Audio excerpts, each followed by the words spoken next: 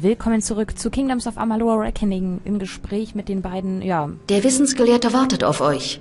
Ebenso wie auf den Kodex. Mit dem Wissensgelehrten, genau. Ihr müsst Herrin Shears Freundin sein. Sie spricht in den höchsten Tönen von euch, was so selten vorkommt, dass allein das schon eine Geschichte wert wäre. Aber lasst mich diesen Kodex sehen. Könnt ihr das hier deuten? Was wollt ihr damit andeuten? Der legendäre Kodex des Schicksals. Als die Schicksalsweber ihren Orden gründeten, stellte ihnen unser Hochkönig seine Weisheit zur Verfügung, um ihnen zu helfen. Derartiges Wissen in Händen zu halten, ist ein gewaltiges Geschenk. Aber warum hat er sich euch offenbart? Weiß ich nicht, weil ich kein Schicksal habe. Ich weiß nicht, warum er zu mir kam. Ihr habt mit Sicherheit eine Rolle in irgendeiner gewaltigen Erzählung. Vielleicht spielt ihr das auserwählte Opfer oder sogar die weise Närrin. Nur wenigen Kindern des Staubs wurde je eine solche Ehre zuteil. Also ich kann nur weniges entziffern, aber das hier ist seltsam.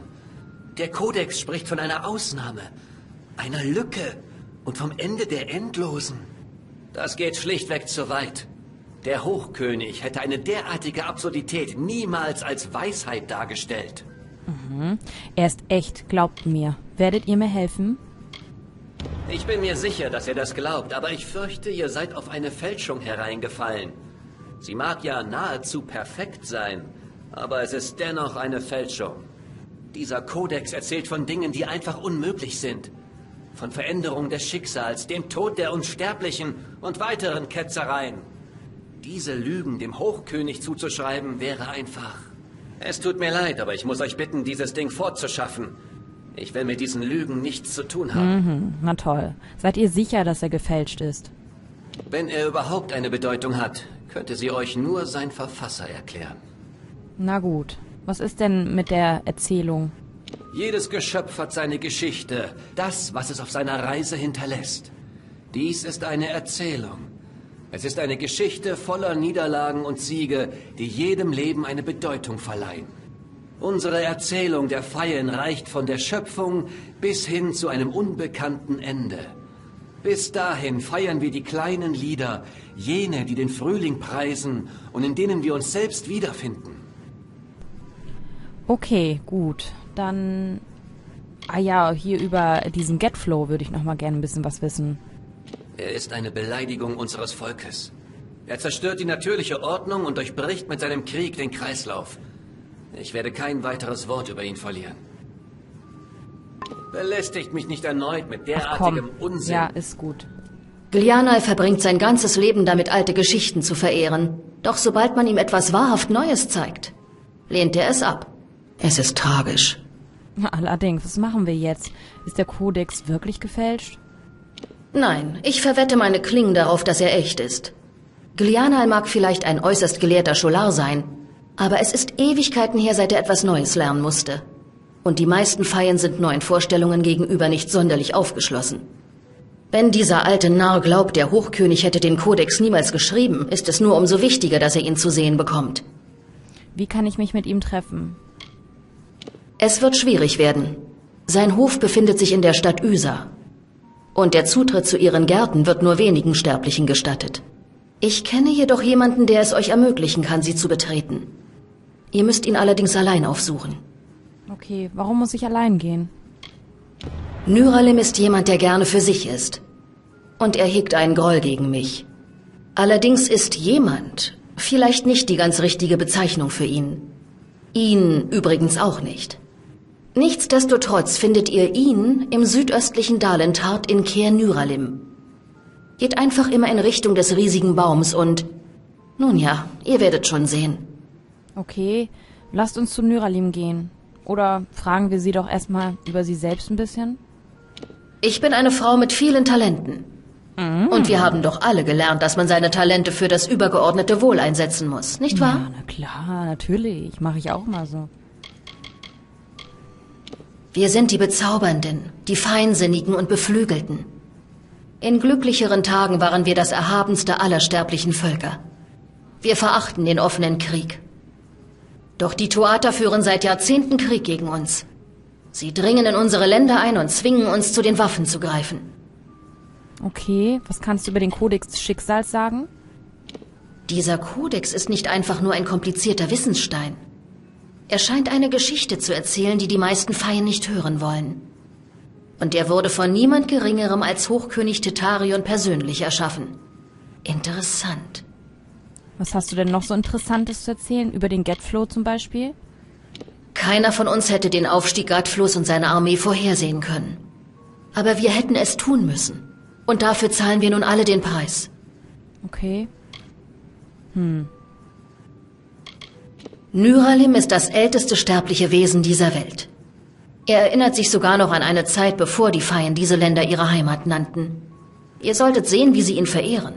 Er gewährt Besuchern nur selten eine Audienz. Jene, die ihn pflegen, sagen, er kenne die Zukunft ebenso gut wie die Vergangenheit. Und aus diesem Grund ist er äußerst wählerisch, was seine Worte betrifft. Verstehe. Lasst uns zu Nyralim gehen. Ihr werdet ihn allein aufsuchen müssen. Ich würde euch ja begleiten, aber zwischen Nyralim und mir gibt es einige Unstimmigkeiten. Alles klar. Viel Glück mit Nyralim. Ja.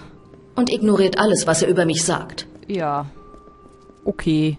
Erstmal schon. Erstmal äh, sind, arbeiten wir ja beide auch hier zusammen gerade. Da will ich ja nicht gleich wieder die nächsten Probleme haben mit der Person, mit der ich arbeite, aber trotzdem bin ich vorsichtig. Nicht, dass der andere doch noch ein bisschen recht hat, wäre ja auch blöd. Wenn wir hiermit von unseren eigenen Leuten ein bisschen verarscht werden. Ich weiß es nicht. Wir kennen die ja alle gar nicht, aber wir machen, ups, äh, wir machen uns mal auf den Weg, dann wo wir hin sollen und wir sollen hier hin. Dann gehen wir mal hier nach Aoth, Aoth, keine Ahnung. Ähm, hier, ja. Aber will ich da denn rein? Ist es nicht besser, wenn ich hier fürs Wasser paddel und eine Runde drehe? Weil ich glaube, ich, ich weiß nicht. Oh, da ist noch so ein Stein, den nehmen wir mit. Während die Gestaltgeberin die Ebenen mit Hügel und Weizen überzog und der Baumeister die Wüsten mit sorgfältiger, ruhiger Hand formte, stand der dritte der Majestätischen in der irdenen Wiege und betrachtete den Glanz ihres Werks. Er war der Architekt und er trug einen Traum in sich, die Form des Wachstums, eine von der Natur geschaffene Form, einen Ort des wilden Überflusses in vollkommener Harmonie.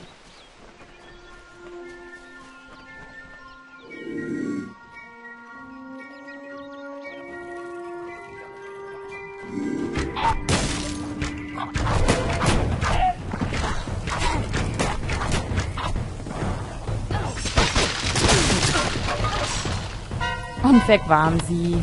Eisige Feinklingen. Eisige Feinklingen benutze ich übrigens auch gerade. Ich habe mir nämlich eine äh, eine Gemme geschliffen nach der letzten Aufnahme und habe das äh, habe meine äh, Feinklingen, wo halt eine Fassung drinne war, habe ich da immer schön aufgemotzt, deswegen leuchten die jetzt schön. Das sind aber dieselben, die wir zuletzt auch benutzt haben. Und wir sollen hier immer weiter südlich laufen. Und hier sollen Gegner kommen. Ja.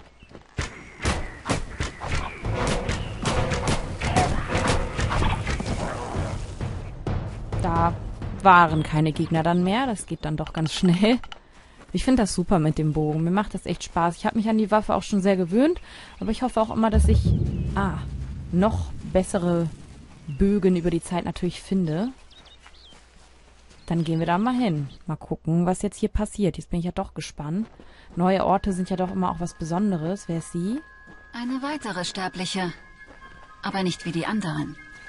Ihr seid hier willkommen. Nyrelim hat euch erwartet. Nyrelim spricht nur selten und verliert noch weniger Worte an die Kinder des Staubs. Ihr seid eine bemerkenswerte Ausnahme. Nyralim würde euch nicht erwähnen, wenn es sich nicht um eine dringliche Angelegenheit des Schicksals handelte. Ihr solltet selbst mit dem Weisenbaum sprechen und herausfinden, was vorhergesehen wurde. Okay. Äh, ich lass es mal hier mit dem reden. Aber was ist denn Fürsorger? Wir kümmern uns um den Baum und sorgen dafür, dass er stark und prächtig wächst. Aber wir sind mehr als nur einfache Gärtner. Es ist eine Ehre, zu jenen Auserwählten zu gehören, die im Schatten von Nyrelims Weisheit meditieren dürfen die ihn pflegen und sich mit seinem Geist verbinden. Also sind das Geht in Weisheit. sind das eher so, ist es ein friedliches Naturvolk, ja? Also ich finde das schön. Ich lasse es aber mal mit allen, die jetzt hier auf meinem Weg sind, mal zu reden. Es wird zu lange dauern. Die Maid, überzeugt von Olains Bedrohung, willigte ein, die Stadt zu befreien. Man dankte ihr mit lobendem Wort und ruhig schlich sie sich fort. Als die Kranken waren Möge genesen, das Böse besiegt, kehrte Olain zurück in das Land. Gefundene Magie als Geschenk in der Hand. Kommt näher, kleine Absonderlichkeit. Der Baum redet mit uns. Äh. Ist Nyralim der Baum? Oh. Toll. Reden mit Ny Nyralim. Die Sonderbare sucht einen Weg zu den Feien, hat jedoch stattdessen zu den Ästen des Weltenbaumes gefunden. Ruht euch aus, Schnelllebige, damit ich euch betrachten kann. Wer seid ihr? Oder was seid ihr? Seht euch um. Alles, was ihr sehen könnt, bin ich. Meine Wurzeln erstrecken sich über ganz Dalentat. Und meine Blätter lauschen den Winden, die von überall zu uns wehen. Von der Eisbruchküste bis nach Alabastra. Meine Familie und ich umschließen diese Welt. Wir waren noch Schößlinge, als eure Art aus dem Dunkel trat. Und wir werden mit euch wachsen, bis diese Welt erneut brennt. Ich muss den Hochkönig sprechen. Ihr wollt mich betrachten? Warum? Meine Wurzeln erstrecken sich tief und weit. Und ich habe gehört, was euch hierher führt. Ich kann jedoch nicht sehen, welchen Weg ihr von nun an einschlagen werdet. Die Zeit der Feien läuft ab. Ich muss sie in ihrer Dämmerung behüten und sie vor der Verdorbenheit des Prismer beschützen, die ihre Art befällt. Ich kann den Feinden helfen. Ich habe einen Kodex für den König. Die Gärten des Schicksals liegen offen vor mir. Und alles, was jemals sein wird, ist in ihren Blüten sichtbar. Ysas Ende, begraben unter Prismerklingen, steht schon seit jeher fest. Ich kann die Flut nur zurückhalten, ihr hingegen. Ihr könntet die Gezeiten möglicherweise ändern. Wo auch immer ihr hingeht, kennzeichnet ihr alles durch eure Berührung. Bevor ich euch helfe, muss ich eines wissen. Werdet ihr eine behutsame Gärtnerin sein oder eine achtlose Schnitterin? Was braucht ihr? Ich kann das Schicksal Ysas ändern. Wie alle Schnelllebigen seid ihr begierig darauf zu handeln. Ich jedoch möchte sehen, wie ihr vorgeht. Ein Stamm von Trollen wurde durch den Prismer verdorben. Ihre Matriarchin Gnarsch hat die Clans vereint und damit den ersten Schritt auf dem Weg zu Dalentats Untergang gemacht. Ihr könnt dieses Schicksal verändern, doch mit welchem Ergebnis? Ihr könntet dadurch eine noch größere Gefahr heraufbeschwören, wie eure Verbündete, Alun Shir. Hm, er weiß also schon Bescheid. Arlin Shi ist keine Bedrohung. Was wisst ihr über sie? Sie beschreitet einen dunklen, verworrenen Pfad. Einen Pfad, den ihr einst vor eurem Tod gemeinsam mit ihr beschritten habt. Doch euer Weg ist allein der eure. Vernichtet Gnarsch, beseitigt die Verdorbenheit des Prismer. Dann werde ich erkennen, wer ihr seid, wenn auch nicht, zu wem ihr letztlich werdet. Okay, wo ist Gnash? Ihr findet die Trollmatriarchin und ihre Brut in Haxi. Ihre Verdorbenheit verbrennt meine Wurzeln und bedroht unsere Zukunft. Das will ich nicht. Dem werde ich auf jeden Fall helfen. Die Trollmatriarchin. Der Prismer hat sie verdorben und sie grausam gerissen und weitaus ehrgeiziger gemacht, als es ihrer Art entspricht. Mhm. Sie trägt die Zeichen der Tuata und teilt ihre mörderischen Absichten. Okay. Was ist mit Nyralim? Ich bin so, wie es die Weltenbäume schon seit Anbeginn der Zeit waren. Ich beobachte, ich begreife und ich erinnere mich. Ich mag den Weltenbaum. Ich mag sowas sowieso. Und ich finde es ganz schrecklich, wenn in Filmen, so wie bei Avatar oder so, sowas dann, so ein Baum dann stürzt und, oh, ganz schlimm für mich. Deswegen werde ich dem auf jeden Fall helfen. Und es ist ja auch anscheinend ein friedliches Naturvolk. Also warum sollten wir gegen die sein? Alenshir. Alenshir ist ein Mysterium und ein offenes Buch. Sie ist auf eine Art entschlossen, wie es nur wenige Schnelllebige sind. Ihre Hingabe ist echt, aber ich kenne ihre Beweggründe nicht. Hm. Gemeinsam habt ihr unter meinen Ästen dunkle Pfade beschritten. Vor eurem Tod kanntet ihr einander oder ihr dachtet, ihr würdet euch kennen. Also ist sie so eine wie ich und sollte vielleicht auch getötet werden? Hat sie vielleicht sowas ähnliches? Ist sie was ähnliches wie ich? Ich weiß es nicht. Geht eures Weges und achtet auf eure Verbündete. Ja. Okay, gut. Na, dann bin ich ja mal gespannt, was jetzt hier äh, auf uns zukommt. Ich frage mich auch, ob hier ganz viele sind, denen wir noch helfen sollen. Oder leben die wirklich hin und helfen dem Baum? Leben in seiner Weisheit, was wie gesagt sehr schön ist. Selbst wenn hier noch weitere Quests kommen sollten, die kann ich ja immer noch so für mich lösen. Mal wieder keine Reagenzien gefunden. Aber denen geht es anscheinend gut, den Fürsorgern, wie sie sich hier nennen. Wir müssen jetzt hier wieder raus. Wir sollen Gnash besiegen. In Haxi. Das wird auch toll. Das klingt super. Aber was tun wir nicht alles, um weiterzukommen? stärker zu werden, uns zu entwickeln. Wieder zurück in den Siede. So, dann werden wir mal die Karte benutzen und etwas schneller reisen wieder hier. Ab zu den Sundor-Höhlen. Von da aus sind wir ein bisschen schneller schon. So, und drehen wir mal einmal um. Und machen kehrt.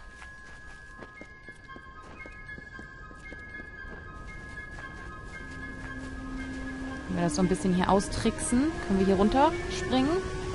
Irgendwo? Nee. Naja, schade. Schade, müssen wir wohl die Gegner töten, dann ist das so. Macht ja nichts.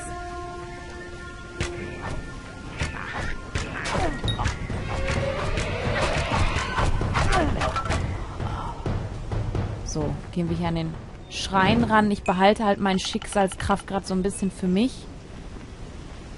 Ach ja, nette Gegend hier.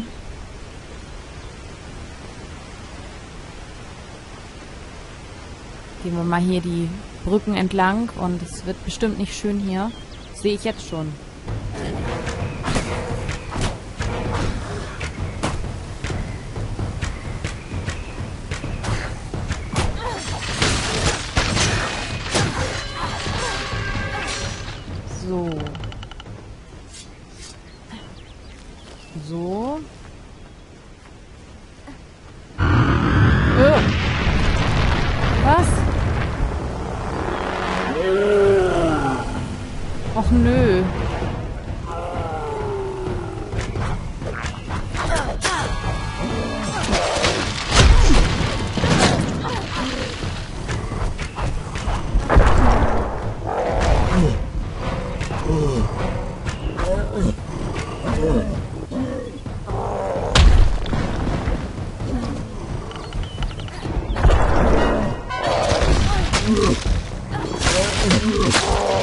So.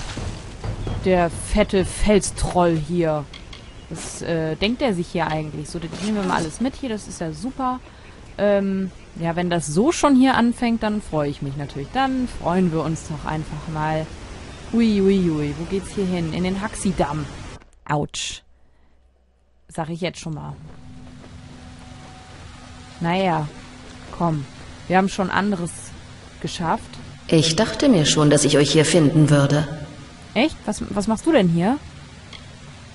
Dieser verdammte Baum hat mich geschickt.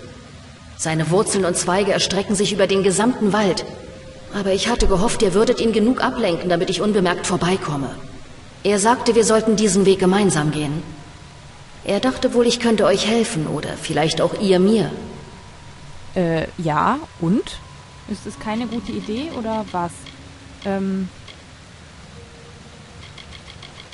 Ja. Ich bin Gnarsch noch niemals begegnet. Trolle und Doc Halfa laden sich nur selten gegenseitig zum Tee ein. Aber wenn sie die Matriarchin eines Clans ist, könnt ihr davon ausgehen, dass sie ausgesprochen stark ist. Und wenn sie so verdorben ist, dass es sogar Nyralem beunruhigt, muss sie eine deutlich größere Gefahr darstellen als die meisten Trolle. Ja, Wir sollten Gnarsch nicht warten lassen. sehe ich auch so, aber ich hoffe, dass du jetzt auch wirklich mit mir kämpfst und nicht mich jetzt irgendwie verrätst oder, weiß nicht, hier deine eigenen Pläne nur verfolgst. Trolle sind normalerweise nicht derartig gut organisiert. Selbst die größten Clans bauen ihre Höhlen niemals so tief. Ja. Während du redest, müssen wir uns aber hier um den hier, glaube ich, kümmern.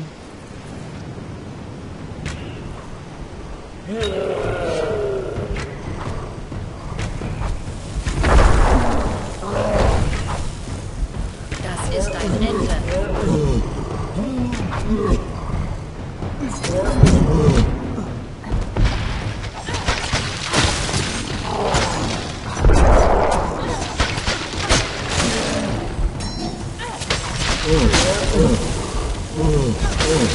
Zeit ist gekommen.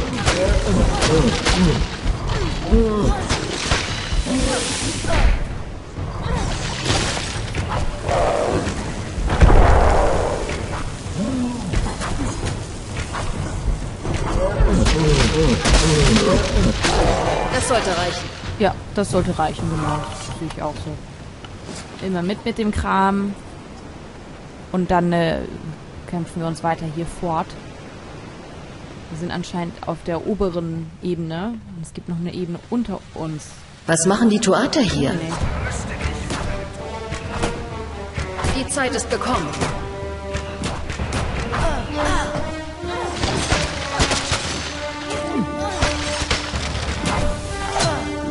dass die immer so schnell sein müssen. Das habe ich das letzte Mal schon gesagt.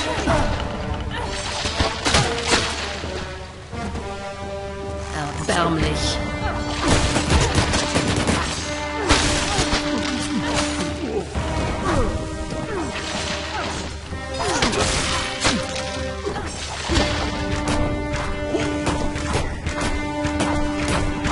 Die Zeit ist gekommen. Ein wenig mehr hatte ich schon erwartet. Das kommt, glaube ich, noch. Das kommt, glaube ich, noch. Meine Liebe. Und ich merke jetzt schon, dass es ganz gut ist, auch zusammen zu kämpfen und vielleicht zwischendurch auch sich mal zu heilen. Und ach man, ich will schon wieder gar keinen Cut machen müssen. Aber das ist ja leider immer so, wenn wir hier zusammen spielen, geht es immer so schnell vorbei, die Zeit. Aber die Dialoge fressen natürlich auch mal viel Zeit, aber es ist doch auch irgendwie interessant. Ja, hi.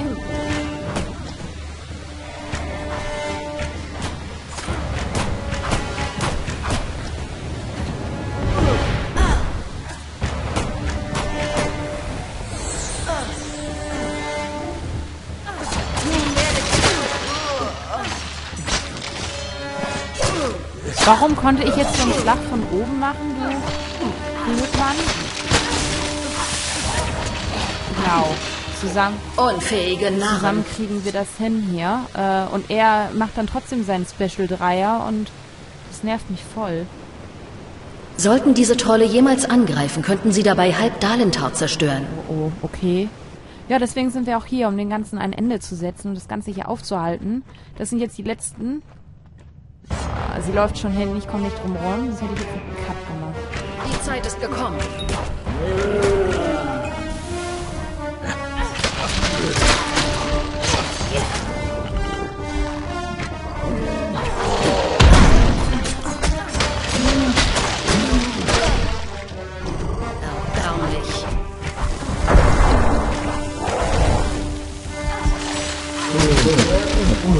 Erbarmlich.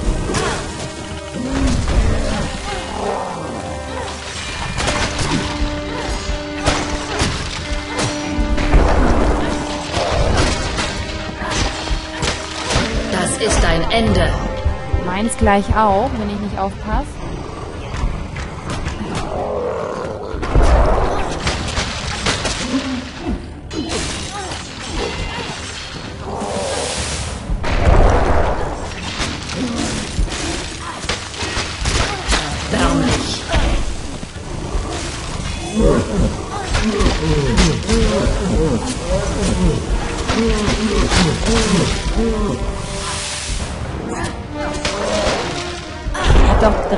Reingelaufen. Die Zeit ist gekommen.